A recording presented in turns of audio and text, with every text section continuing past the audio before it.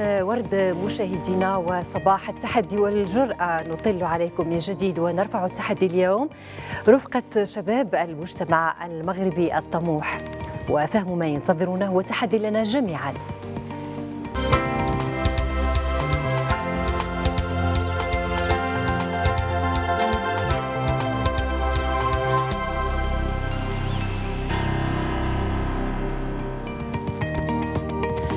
مرحبا. أطلقت الحكومة المغربية مؤخرا برنامج فرصة وبرنامج طموح مبتكر يستهدف جميع الأشخاص الذين تزيد أعمارهم عن 18 عاما من حاملي الأفكار أو المشاريع المقاولتية ووفق بلاغ صادر عن رئاسة الحكومة.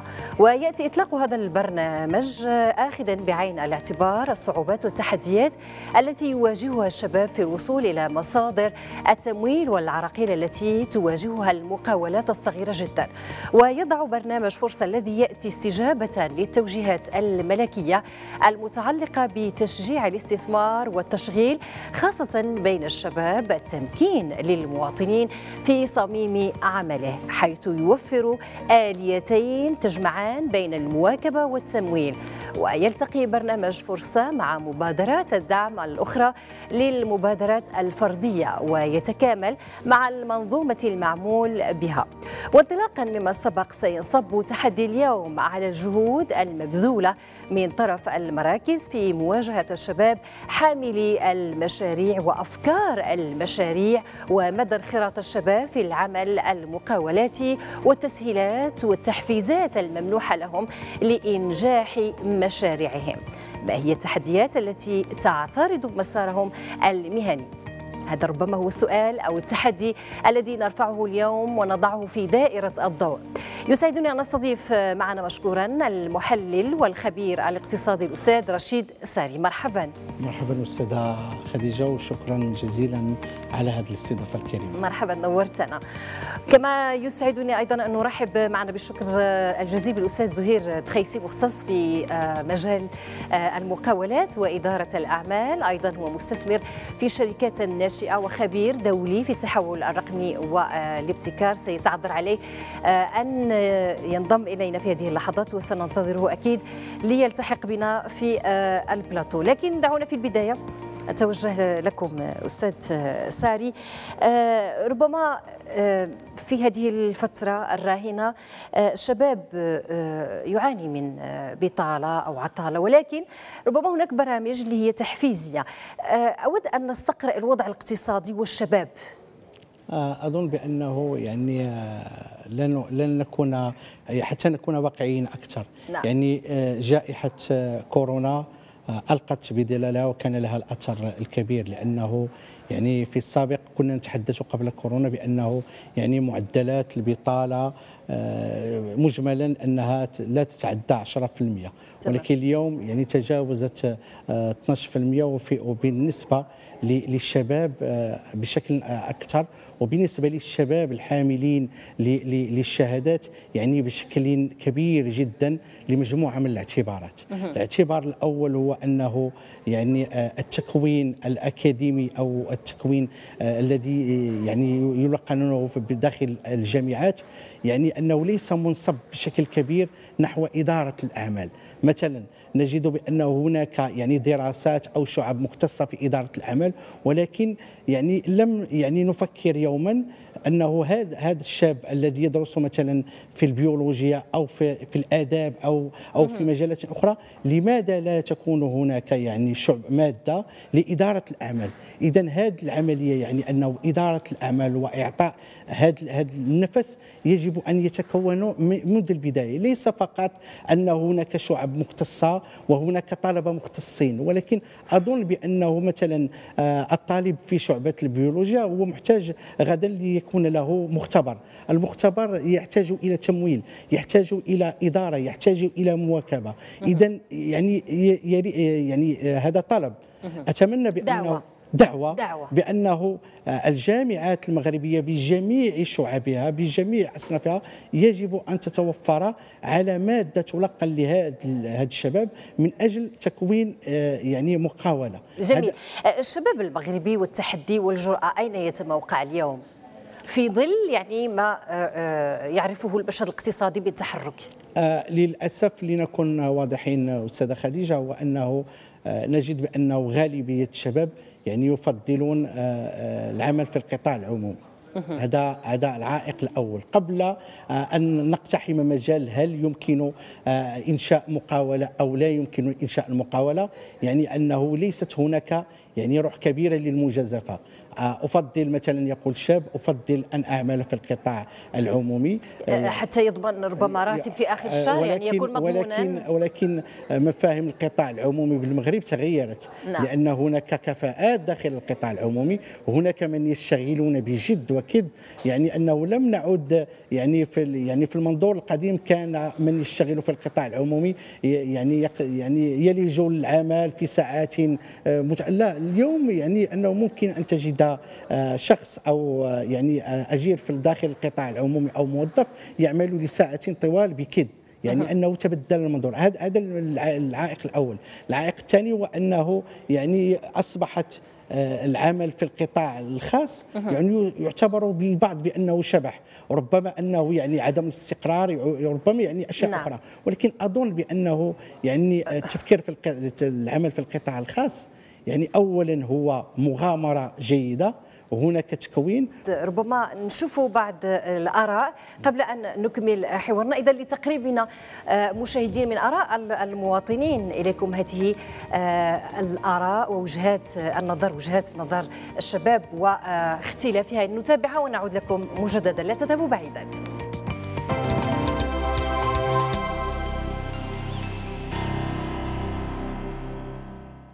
كانت دارت واحد آه، لاكسيون ديال آه، المقاول الذاتي. وكنا شفنا آه، كانت قبل كانت l'action ديال ce qu'on appelle TPE يعني toute petite entreprise يعني المقاولة الصغرى جد صغرى.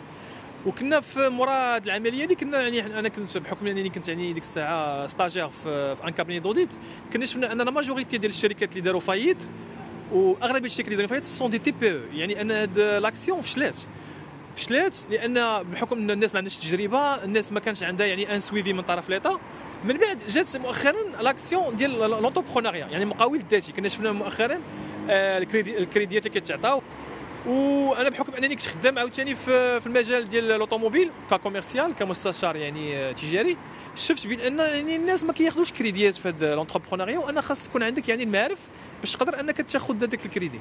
ولو يكون عندك ال budget وداك الشيء وتبغي دير un projet كتبقى كتمتردد. متردد كتلقى بزاف ديال المطبات من الجانب الإداري من ما هو الجانب آه آه تقلب على شنو هو ال projet اللي غادي اللي غادي يمشي والمتطلبات ديال السوق شنو هي. هادو هما المشاكل. رغم ما يكون عندك كاع الفلوس حنا بغض النظر ما يكونش عندك كاع ال budget انت عندك عندك un budget يعني غتبقى حاير شنو هو ال projet اللي غادي يخرجك. باش نكون juste ما سهلاش وما صعيباش. هي المقاولة متاحة للجميع لأن les démarches راهم باينين. غادي تمشي عند واحد ال comptable دير واحد les démarches وهي عندك واحد la société كتولي une personne morale ولكن شنو غادي دير من بعد باش تنجح هذه المقاولة؟ هنا في الشباب غادي يقدروا يلقاو عراقيل.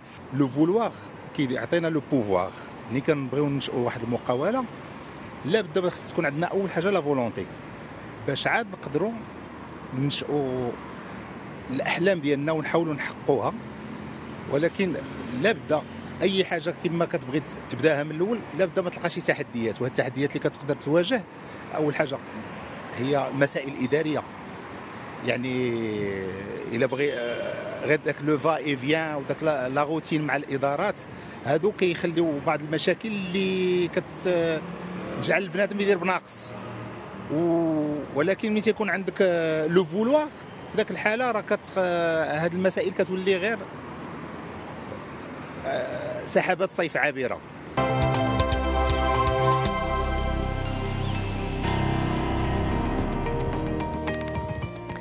إذا عدنا لكم مجددا مشاهدينا وبعد أن يعني تم الإطلاع على هذه الآراء وجهات النظر المختلفة فيما يتعلق بإنشاء المقاولات والشباب بطبيعة الحال أستاذ رشيد ساري كيف يتم انتقاء وتعيين هذه الترشيحات اللي عندهم هذه المشاريع ديال إنشاء مقاولات كيف يتم الانتقاء؟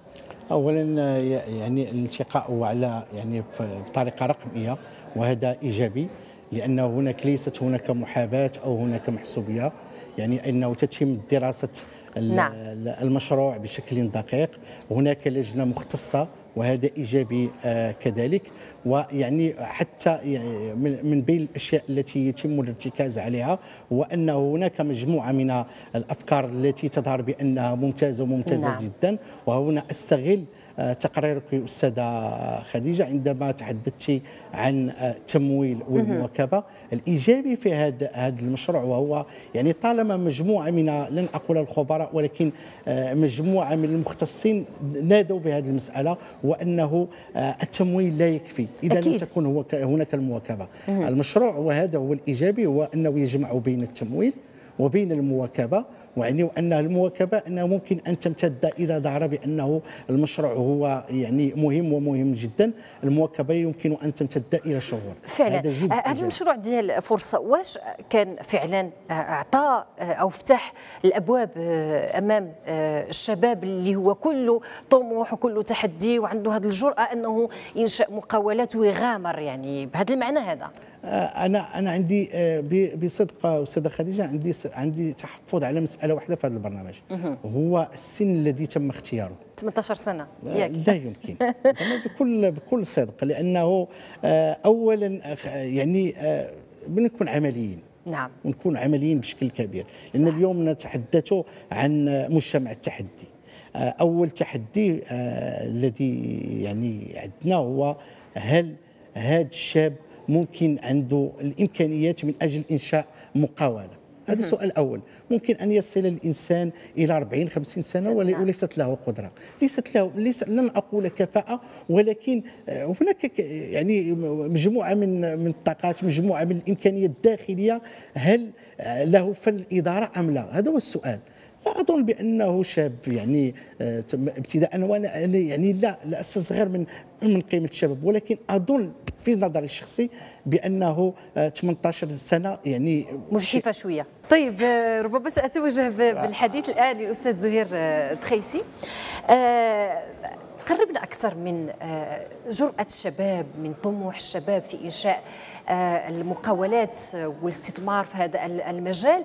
آه، رغم وجود مجموعة من الإكراهات مجموعة من التحديات ولكن ربما نلاحظ مؤخرا الشباب مقبل وشهيته مفتوحة على أنه يدخل غمار هذه المشاريع الاستثمارية. كنظن بالفعل هو الصراحه الواقع دابا هو أنه الشباب اليوم شاف بأن كاين واحد الامكانيات هائلة ديال أنهم يقدوا يخلقوا آه، مقاولات انهم يصنعوا ثروة لهم ولعائلاتهم عن طريق آه، الوسائل التكنولوجية الحديثة عن طريق الرقمنة شفنا كثير من الناس اللي استعملوا ال e-commerce أو التجارة الإلكترونية الناس اللي استعملوا العملات الرقمية ناس واحد آخرين اللي خدموا على مجالات المحتوى واللي نعم. قدروا فترة بسيطة إنهم يحققوا واحد النجاحات يعني آه، لا بأس بها. فأنا كنظن بأن هذه المسائل هذا الأمل اللي تخلق من جهة وحتى الأمل في في الاقتصاد الوطني بشكل عام لأن كنظن بأنه المغرب ثبت في هذه السنوات الأخيرة أنه آه، قادر على حمل التحديات. شفنا بأنه كانوا مبادرات رائعة على المستوى الاقتصادي في ظل الجائحه شفنا كيفاش المغرب قد أنه يحقق واحد المجموعة من الإنجازات على المستوى الصحي على المستوى التجاري على المستوى صحيح. الصناعي. فهذه المسائل خلقت واحد النوع من الأمل والثقة في النفس. نعم. اللي كنظن دابا كتحول إلى هذه الرغبة في خلق المقاولة وفي المبادرة وفي المحاولة. هل لدينا ما يكفي من مراكز الاستثمار اللي هي كتعمل على مواكبة آه، آه، هؤلاء الشباب الطموحين في تحقيق هذه الأهداف؟ لدينا ما يكفي من هذه المراكز؟ وكنظن في الوقت الحالي مازال. يعني آه، عندنا عندنا مراكز ديال الاستثمار عندنا جمعيات ديال المواكبة عندنا جمعيات ديال التأطير. ولكن كنظن بأنه ليس ليس لدينا في الوقت الكافي عدد كافي باش ياخذ هذا هذا هذا الشباب ويعاونهم باش يوصلوا من مرحلة الفكرة ومرحلة إلى بغينا نقولوا المشروع إلى مرحلة التنفيذ. وبالطبع بجانب مراكز الاستثمار هناك أيضا الاحتياج للاستثمارات. المستثمرين يكونوا خواص أو آه، استثمارات آه، إلى بغينا نقولوا آه، يعني ديال الدولة اللي غتعاون هاد المستثمرين. كاين مجموعة من المحاولات كاين برامج بحال فرصة برامج بحال بحال ديال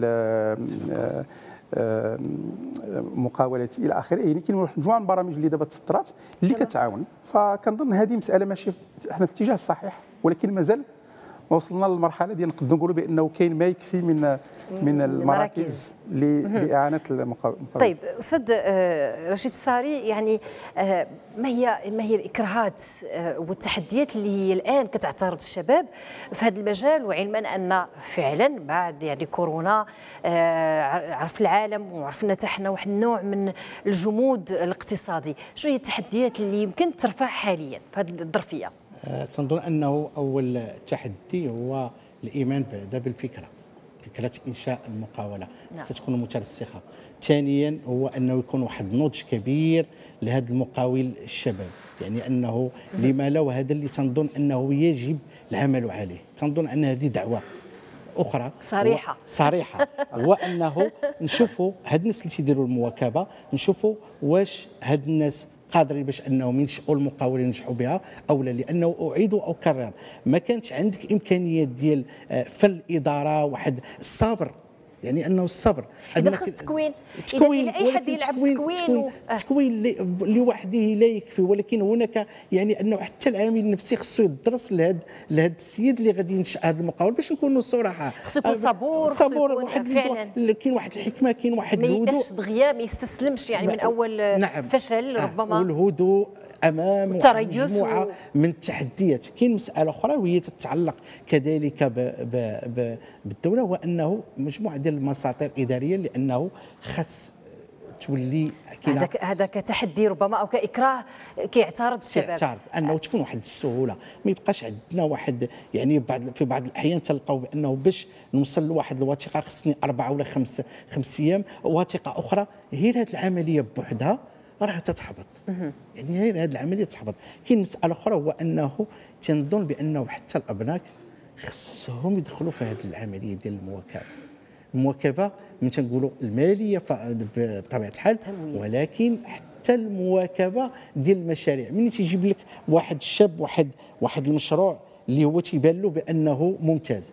راه خاص داخله مثلا وباغي واحد القرض راه داخله مثلا للبنك راه خاص تكون عندنا واحد لجنة أو ناس مختصين اللي تيشوفوا مثلا فين كاين الثغرات هنا لا هذه خصنا هذا راه ما غاديش ينفعك هذه المسألة هذه. لا هذه غتقدر توجيه. توجيه. إذا خص توجيه. توجيه, توجيه. خص كفاءات داخلة يعني مجموعة من المؤسسات المالية. أستاذ آه، تخيسي انطلاقة الجيدة مهمة والفكرة آه، الجيدة آه، أيضا هي دعامه اساسيه لانجاح هذه المشاريع. لكن ربما السؤال العريض هنا الشاب غادي يتساءل بأية موارد؟ وهذا سؤال اللي أنا كنظن سؤال أساسي وجوهري. ياك. آه لأن دائما كنبقاو كنقولوا. أول أول حاجة اللي بغيت نأكد عليها هو أنه كاين مجموعة من المشاريع اللي قد داروا باستثمارات بسيطة. نعم. هذه خصنا بعدا نأكدوا عليها لأنه ربما بزاف الشباب كيظنوا بأنه باش باش تنشأ مشروع. أنا كنعرف شباب اللي نشؤوا مشاريع على مستوى التجارة الإلكترونية على المستوى العالمي. يعني كيبيعوا في الولايات المتحدة كيبيعوا في أوروبا ب ب يعني نقولوا باستثمار بسيط. يعني لا يتجاوز بعض الأحيان 3000 أو 4000 درهم. فهذا الجانب الأول. ولكن هذا لا يعني انه ما كاينش مشكل موارد لأن كاين مجموعة من المشاريع اللي ما يمكنلاش توقف. صحيح. المشاريع الصناعية المشاريع اللي عندها علاقة بالابتكار ما يمكنلاش توقف إلا ما كانش واحد القدر الاستثمارات اللي اللي كافي اللي غيسمح بأن المشروع يمشي لقدام. لأن مشروع بحال ابتكاري كيتطلب واحد العام عامين على الأقل ديال الاستثمار قبل ما توصل للمرحله اللي غتولي عندك مداخل. صحيح. الإشكال هذا إشكال اللي واقع وخصنا نعترفوا به. آه، في المغرب كاين مبادرات كيف قلنا آه، انطلاقة مبادرة مهمة فرصة بشكل آخر. كاين كاين Tamwilcom اللي كتعطي واحد المجموعة من من من التمويلات تمويلات نعم. اللي كتوصل من 200 ألف درهم حتى 700 ألف درهم المشاريع المبتكرة. كاين واحد المجموعة من الصناديق الاستثماريه donc les fonds capital-risque أو les fonds d'investissement اللي حتى هما دخلوا في هذا المجال آه، في المدة الأخيرة وكيحاولوا إنهم يعاونوا. المشكل دابا اللي كاين هو مشكل عقليات. لأن في أغلب الأحيان هاد الناس هادو باش يقتنعوا بمشروع كيطلبوا شي مسائل اللي غير ممكنة بالنسبة للشاب اللي يلاه بدا. يعني تعجيزية. تعجيزية. تعجيزية. هذا جانب. أنا كنظن آه، خص الشباب آه، خصنا أولا بعدا نقتنعوا بأن العالم ولا قرية صغيرة. فالشباب ما خصوش يفكر في مصادر التمويل فقط في المغرب. أنا كنعرف شباب اللي مشاو اولا مستثمرين ذاتيين des business angels كونتاكتاو مستثمرين ذاتيين في دول أخرى في, في إنجلترا في خارج المغرب في الولايات المتحدة أو في الشرق الأوسط. وعاونوهم عاونوهم في الأول يعني بمسائل بسيطة ومن بعد طورت المسألة. فالبحث عن المال وعن الاستثمار ما خصوش يكون حكر على السوق الوطني. إلا الناس ما مقتنعينش في السوق الوطني مشوا نقلبوا على الاستثمار أكيد. حيث يوجد. إلا كان المشروع ديالنا بيان سور عنده واحد القيمة على المستوى يعني المستوى الفكرة وعنده واحد الإمكانية ديال أنه يوصل للعالمية أو يوصل على الأقل لواحد جميل. هل هل نفس الإشكالية اللي طرحها أستاذ رشيد ساري يعني فيما يتعلق بالمراحل الإدارية والإجراءات ديال هذه المشاريع كتعرف واحد النوع من العرقلة؟ يعني ربما هذا كاكراه ياك. هذا هذا اكراه مهم وأنا كان كنضم الصوت ديالي الصوت ديال سي رشيد لأنه مشكل كبير عندنا في المغرب.